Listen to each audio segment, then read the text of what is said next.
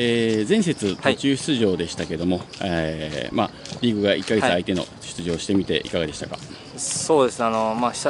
僕、国体も出てないのでそう久々のゲームでしたけど、まあ、本当1対0で負けている状況でやっぱり逆転できなかったのはやっぱ個人の能力の低さだと思いますし、まあ、流れも、まあ、変えれたか分からないですけど、まあ、僕が出てメッセージが入ったの入れたらよかったかなと思いますけど、まあ、そこで得点ができなかったのは残念です。うん、はい。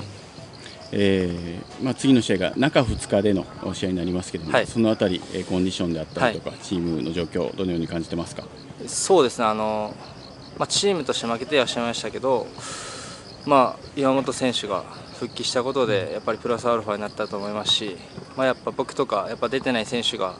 水曜日結果を出すことによってやっぱ今スタメンで出てる人の危機感だったりそういうのを与えられると思うのでしっかり水曜日に向けてチャンスをもらえた人は結果を出していきたいと思います。あのー、まあ、練習してる間に、はい、ベテランの塚田選手が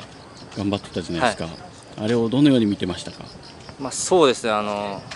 悔しい一言ですけど、うん、やっぱたくさんのいいとこをすごく吸収しながらやっぱ彼が活躍することによってやっぱ自分にも危機感がすごく芽生えましたしやっぱ今スタメンを奪わなきゃいけないあの立場にいるので、まあ、しっかり水曜日は結果を出していきたいと思います、えー、次の試合がホンダロックの試合になります、えー、前回の対戦では得点してます、はい、えー、どのような印象がありますか、まあ、そうですね。本当でかい選手が多くて、まあ、やっぱセットプレーでもやられましたしやっぱセットプレーでも強い相手なので、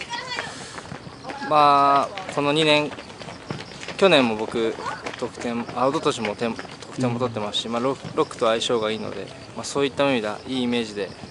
挑みたいと思います。ではあの改めて、えー、明日の試合